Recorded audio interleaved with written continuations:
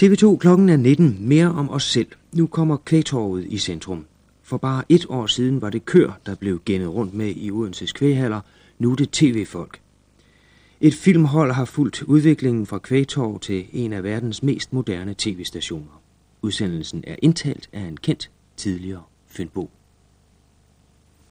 Mens medieverdenen diskuterer om noget som helst af betydning kan placeres uden for hovedstaden, ankommer der stadig kreaturer til kvægtorvet i Odense.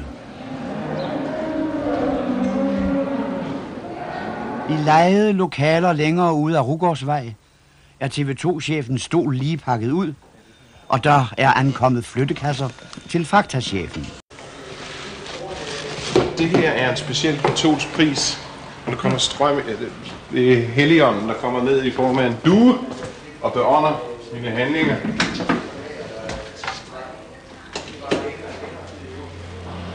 Det er ikke gribende. Kommunikationslinjerne udbygges gradvist. Hallo? TV2? Goddag. Hvem søger du? Hvem søger du?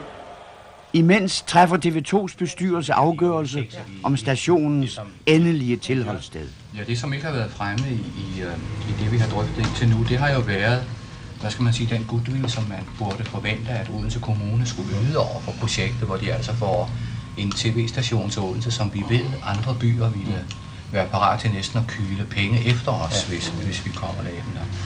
Og, og, Nå, men vi skal bare konstatere cirka ja. 5 millioner kroner betaler vi Yes, det må blive det. for at ligge i centrum af Odense.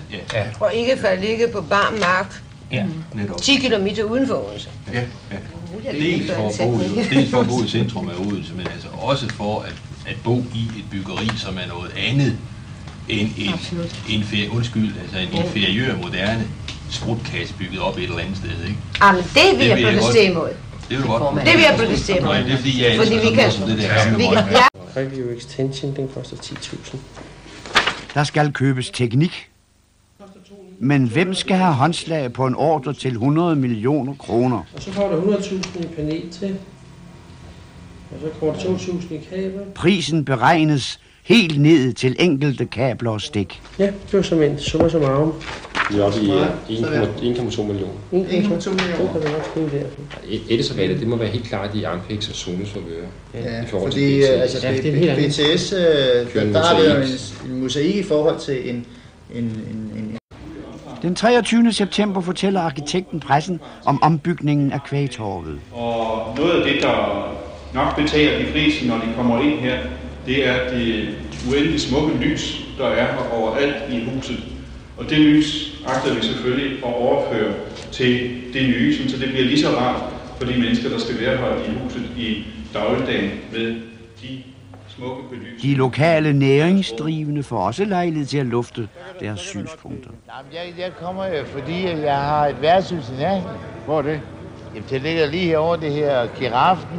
Nå, men du får øget omsætning nu. Ja, det håber jeg da i hvert fald, ikke? Okay. Det vil jeg da håbe. Så, så, øh, men jeg ved ikke, om jeg skal søge uvidt øh, Nå, det ved jeg ikke. øh, Lad os nu- natterestationer. Lad os nu sætte tiden an. Ideen er at komme ud i krogene, og ideen er at skabe en fornemmelse af, at øh, folk, der bor i Tyberon, og folk, der bor i Varder, og folk, der bor på Fyn, er lige så vigtige som dem, der bor i København. Og øh, det øh, fornemmer mange mennesker, der bor væk fra metropolen, fra hovedstaden. De fornemmer, at det sådan har det ikke været før. De fornemmer, at der har været en overvægt på det, der foregår i hovedstaden, og en koncentration om de mennesker, og især om den kultur, som dominerer i hovedstaden, og som virker umådeligt fjern, når man kommer væk fra hovedstaden. Det har jeg selv oplevet, for jeg har selv udelukkende boet i store byer. Jeg har boet ovenikøbet i meget store byer, London, New York, Washington. Og det er helt klart, at når man kommer væk fra, fra sådan nogle centre, øh, som har en overvægt af byråkrater, øh, mediefolk, øh, universitetsfolk osv., øh, der kommer du ud til nogle helt andre mennesker. Og i kælderen lufter nyhedsoplæseren sine tanker. Man skal tale, man skal tale til seeren derinde øh, i kameraet. Øh, man skal ikke være sidde og læse øh, hver eneste historie op, og en gang imellem kaste et forvirret, forskrækket glimt op på, på seeren, når man nu har set, hvad det er, der står på teksten. Man skal kunne kommunikere direkte Og det er, det er der selvfølgelig nogle tekniske muligheder for. Det er ikke fordi, at man skal kunne hele nyhedsudsendelsen, øh, undskyld, øh, nyhedsudsendelsens tekst uden at. Det er der ingen, der kan. Men vi har jo den maskine, der hedder en teleprompter. Øh, det skal vi bruge. Øh, det vil sige, at vi, vi får teksten til at rulle, øh, så at sige, inde i kameraet. Så man oplever, at man henvender sig til den enkelte seer og ikke kigger ned i bordfladen eller ned i manuskriptet. Det er en dårlig form for kommunikation.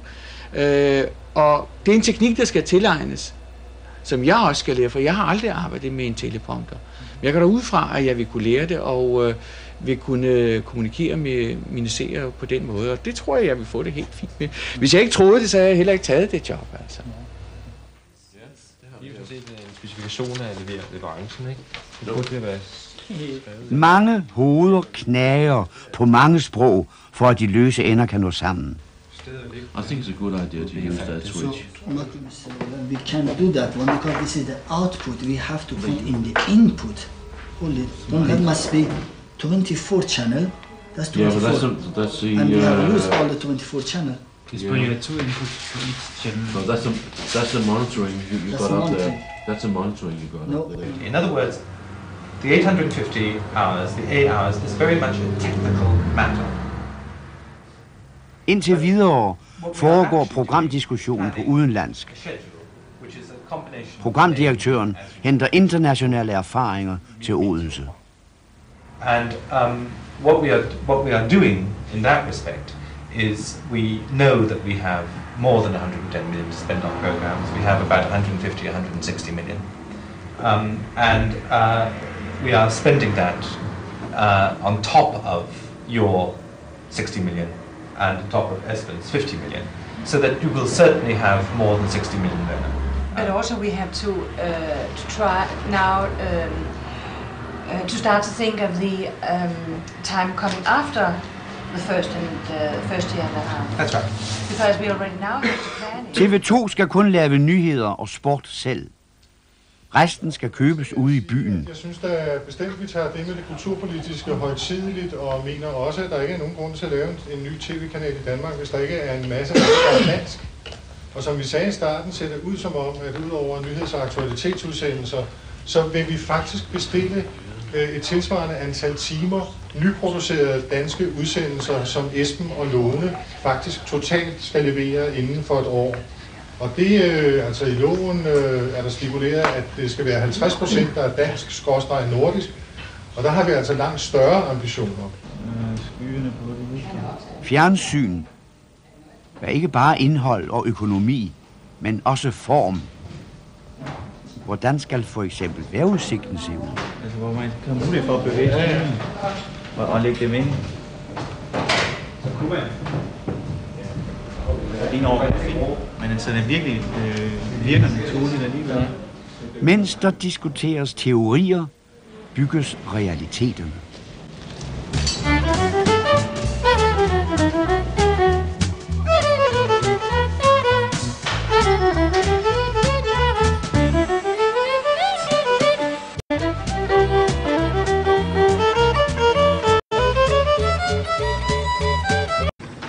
Mens teknikken kommer ud af papkasserne, sætter TV2-chefen de nye ansatte ind i kanalens filosofi. Om fem måneder er vi i luften.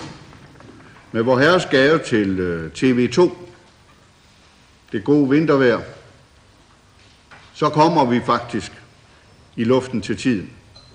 Og vi kommer til at chokere folk. Jeg håber, både i positiv og i negativ forstand.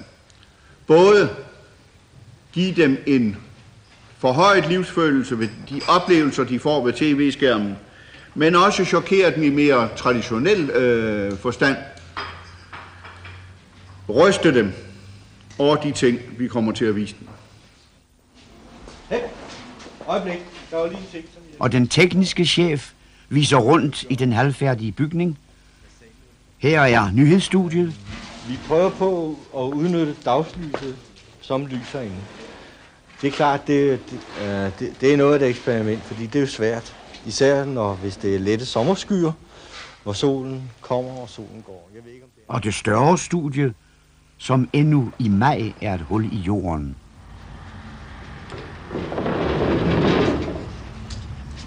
Har du med? Ja, selvfølgelig. I juni 1988 flytter TV2 til Kvægtorvet.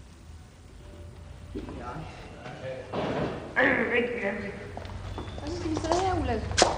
Sekretærerne finder deres løsninger diskret og effektivt. Det er det nok. Jeg havde sagt, at det skulle være det. Men har de hen? Ja, den har de hen. Det er TV2. Ja, tak. Telefonpasseren har sidste vagt på den lejede adresse. Det var en, der kunne stille sammen til. Og så er der rejsegilde i det store studie. Må jeg have lov at citere fra et digt af Bertolt Brecht. Hvem byggede Theben med de syv porte? I bøgerne står kongers navne. Har kongerne slæbt stenene sammen? Og Babylon ødelagt atter og atter. Hvem byggede det op så mange gange? I hvilke huse i det guldglinsende Lima boede håndværkerne? Ja, svarene er indlysende. Men derfor er der ikke mindre grund til at rette en meget, meget varm tak til alle de mange håndværkere, der har medvirket til at bygge kvægtorvet om til en fjernsynsstation.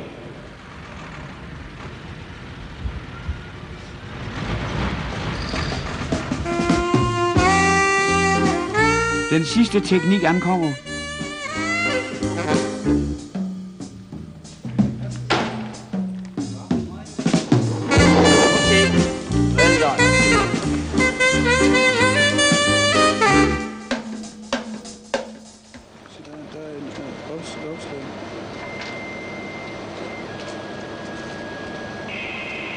På, der er fuld gang i den, jo, men den øh, kan slet ikke finde ud af det.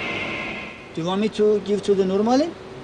No, we we have to make a balance there to get it in. Yeah. Because we, we need to have it on both track, of course. That's right. Yes. But everything is changed now, so So you guys have a really good time, and I'll see you later. it's a mess. Help yourself out. Okay. Det vil sige 6-7 uger. Men vi har vist længe nok, hvor vi skulle bruge. Ja. Jamen, de skal har- gerne være færdige til, til den 1. oktober. Det bliver vi også. Det Nå, garanteret. Så er det ligegyldigt. Ingen problem. Resten af kraften er ligegyldigt. Enten med eller uden armene. Men den, altså for, for at dele lidt op i det, så kunne man jo godt sige om Du i sidder for godt i den der, så bliver de siddende for længe. Den kan være i bestyrelseslokalet. Ja, der skal jo være de høje. Det skulle være. Ouais, bah, un instant, je... Oh, Rogårds var i nu- nummer 25. Med tout le monde. Så lige skulle sige Domkirken. Nej, det får du mig sgu ikke til.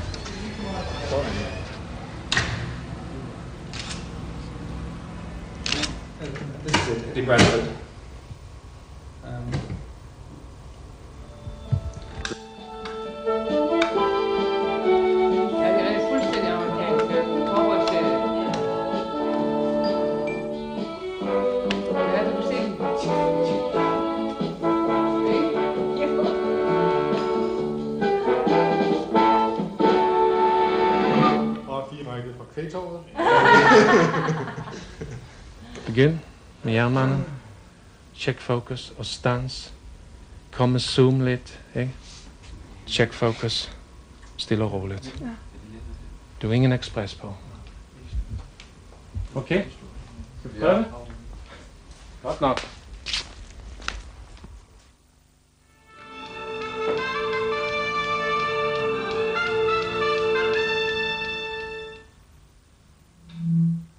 Aften, her er TV2 med nyhederne. Try to be ready. Lukkeloven er endnu en gang til debat. Ansigter, stemmer, påklædning, make-up osv. afprøves foran kameraerne. Use this muscle to project the sound, linger on the vowel, and say one, like that. One. Good. Okay, Nyhedschefen holder sit første redaktionsmøde.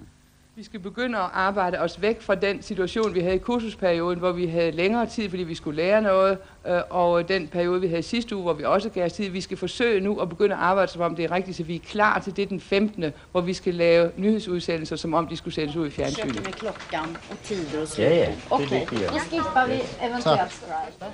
Ligger i kamera två. Også børn bliver voldelige, det er også Ja, to. men nu, ja, men efter lär, på nedlägget lärarkritik. Minister bruger også Yasser Arafat og hans PLO. Nu. To. Och så wipar vi till kamera 1. Tack. Øh, udlandsblokken var 13 sekunder mere end beregnet. Der. Udlandsblokken var 2.13 og ikke 2, som der står her. Og det var slut for nu. Vi er tilbage i morgen aften med nyheder kl. 17.55 og kl. 19.30 på gensyn. Nye programformer diskuteres. Hvordan laver man et såkaldt talkshow på dansk? Bestyreren for TV2's forsamlingshus resonerer. Men hvis du forstår, hvad jeg mener. Altså, Jamen, jeg er det, det, det det, er ikke for hovedet, men for hjertet. Ja. Og det vil sige, at man må ikke lave noget, hvis der ikke er følelser med i det. Det, det skal være noget, folk følelsesmæssigt også reagerer på. Ja. Men, men i mit ideal, det er altså et eller andet med, at du sætter en annonce i Tisted Dagblad og siger, på tirsdag, på tirsdag, på tirsdag, der kommer TV2 til Tisted. Vær så god at træde indenfor.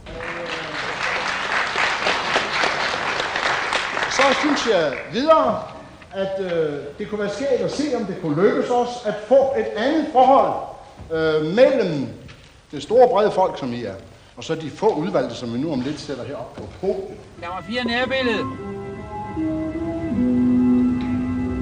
Amen. Hvad siger I nu til øh, Naturfredningsforeningens udspil? Synes I ikke, at det er noget pjat? Er den sag ikke belyst ud over alle grænser efterhånden? Alle vi andre, vi vidste sgu da godt, at det er ildt Storebælt mangler, at færgerne ved Skavle, I er så håblige og så forstenede og helt, øh, hvordan kan man sige, ser på på den der. Jeg må med det samme bekende, at jeg synes, at alle de der eksperter, de er akkurat ligesom små børn, der klapper i hænderne og siger,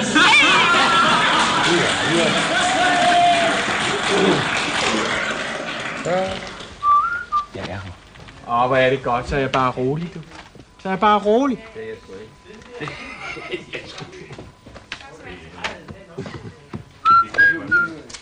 Ah, Arne, du skal bare tage det helt roligt. Det kan ikke gå andet end galt. Nogle kreaturstalle er bygget om. Nogen kalder på forhånd resultatet for bondefjernsyn. Andre taler om alternativ kommunikation. En tredje gruppe siger, vil jeg ikke noget ind, I bliver bare kanal 16 på vores antenneanlæg. Men her er det altså TV2 Danmark i al beskedenhed.